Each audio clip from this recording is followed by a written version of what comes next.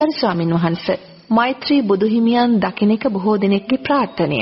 උන්වහන්සේගෙන් දහම් ශ්‍රවණය කොට නිර්වාණය ප්‍රාර්ථනා කිරීම ඒ අයගේ එකම අරමුණ. ඒ සඳහා කළ යුතු පුණ්‍ය ක්‍රියා මොනවද කියලා බොහෝ දෙනෙක් විමසනවා ගරු ස්වාමින් වහන්සේ. ඒකට උත්තරයක්වත් මම නම් කියන්න කැමති නෑ නෝනා. ඒ බුදුරජාණන් වහන්සේ අපිට එහෙම කියන්නේ නැහැ. තේරුණාද? මෛත්‍රී බුදුරජාණන් වහන්සේ පහළ වෙන්න නම් නෝනා තව අවුරුදු ලක්ෂ 25ක්වත් යනවා. තව අවුරුදු ලක්ෂ 25ක් අඩුම ගානේ දැන් අවුරුදු ලක්ෂ 25ක් යනවා කියන්නේ මෙහිකයි. බුදුරජාණන් වහන්සේ බොහොම පැහැදිලිව දේශනා කරනවා මෛත්‍රී බුදුරජාණන් වහන්සේ පහළ වෙන්නේ මිනිස්යාට අවුරුදු 80000ක් අවශ්‍ය තියෙන කාලය කියලා. අවුරුදු 80000ක් එතකොට අවුරුදු 80000ක් අවශ්‍ය තියෙන මිනිස්සුયો බිහි වෙන්න නම් නෝනා අපි ගණනය කරලා බලන්න ඕනේ බුදුරජාණන් වහන්සේගේ කාලයේ පරමාවශ අවුරුදු 120යි අද වෙනකොට ඒක 70කට වගේ අඩු වෙලා තියෙනවා. ඒ කියන්නේ අවුරුදු 50ක ආයුෂ වෙනස් වීමක් සිද්ධ වෙලා තිනවා. මේ අවුරුදු 50ක ආයුෂ වෙනස් වීමක් සිද්ධ වෙන්න නෝනා අවුරුදු 2600ක කාලයක් ගිහිල්ලා තිනවා. අවුරුදු 2600ක කාලයක් තුල අවුරුදු 50ක ආයුෂ වෙනස් වීමක් තමයි සිද්ධ වුනේ. තේරෙනවද? මෙහෙම ගිහිල්ලා මෙහෙම ගිහිල්ලා බුදුරජාණන් වහන්සේ දේශනා කරනවා මේ මිනිස්යාගේ දුස්සීලභාවය නිසා මිනිස්යාගේ පරමාංශ අවුරුදු 10යි කියන තැනට බහිනවා කියලා. එතකොට අවුරුදු 10 දිනෝනා මිනිස්යා ජීවත් වෙලා විවාහ වෙලා ඉගෙනගෙන මැරිලා ගිහිල්ලා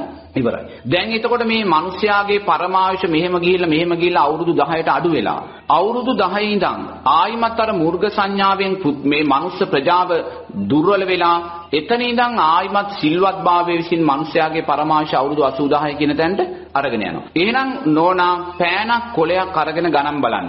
මේ අවුරුදු 50ක ආයුෂ වෙනස් වීම සිද්ධ වෙන්න අවුරුදු 2600ක් ගිහිල්ලා තියෙනවා නම් අවුරුදු 80000ක් ආයුෂ තියෙන මිනිස්සු වී වෙන්නේ අවුරුදු කොච්චරයිද කියලා. අවුරුදු ලක්ෂ 25ක් දීර්ඝ වූ අබුද්ධෝත්පාද කාලයක්. ධර්මයක් නැහැ මිත්‍යා දෘෂ්ටික භාවයේ සුල ලෝකයේ වැසුණු ගිලුණ ලෝකයක් නෝනා. බුදුන් දහම් සංගුණ කියන වචනයක් නැහැ. අපි කොතන ඉපදුනත් දුකතිලා ඉපදෙන්නේ. ඔබ හිතන්න අවුරුදු ලක්ෂ 25ක් කියන්නේ මේ අවුරුදු 60 70ත් එක්ක හිතලා බලන්න හිතා ගන්නවත් බැරි කාලපරාසයක් නෝන. ඒ නිසා යමෙක් මෛත්‍රී බුදුරජාණන් වහන්සේගේ ශාසනය දැකලා නිවන් අවබෝධ කරන්න බලාපොරොත්තු වෙනවා නම් ඒක මේ ලෝකේ තියෙන අවිද්‍යාවේ බරපතලම තැනක් නෝන. තේරෙනවද? ඒ නිසා මේ මොහොතේ අපිට පුළුවන් මෛත්‍රී බුදුරජාණන් වහන්සේව දකින්න. මේ මොහොතේ අපිට පුළුවන් මෛත්‍රී බුදුරජාණන් වහන්සේ දේශනා කරපු ධර්මය අහන්න. ඔබට මෛත්‍රී බුදුරජාණන් වහන්සේගේ ශාසනයේ නිවන් දකින්නවා කියලා සකස් වෙන හිත අනිත්‍යයි කියලා දකින මොහොතේ ඔබ දකින්න මෛත්‍රී බුදුරජාණන් වහන්සේ. තේරෙනවද?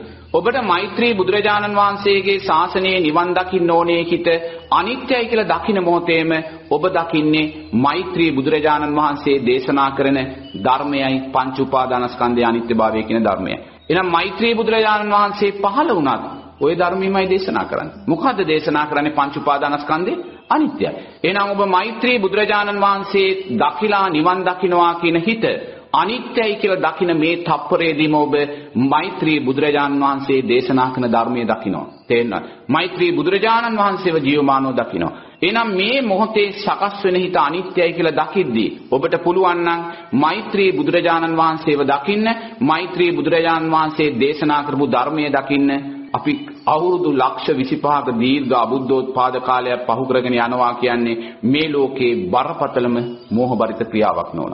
ඒ නිසා දක්ෂ වෙන්න මේ මොහොතේ මෛත්‍රී බුදුරජාණන් වහන්සේව දකින්න. ඒ දකින්න වෙලාවේ මෛත්‍රී බුදුරජාණන් වහන්සේ වගේම අපේ ගෞතම බුදුරජාණන් වහන්සේ දැක්ක වෙනවා මොන බුදුරජාණන් වහන්සේ පහළ වුණත් දේශනා කරන්නේ පංච උපාදානස්කන්ධය අනිත්‍යයි කියන ධර්මයේ විතරයි නෝන.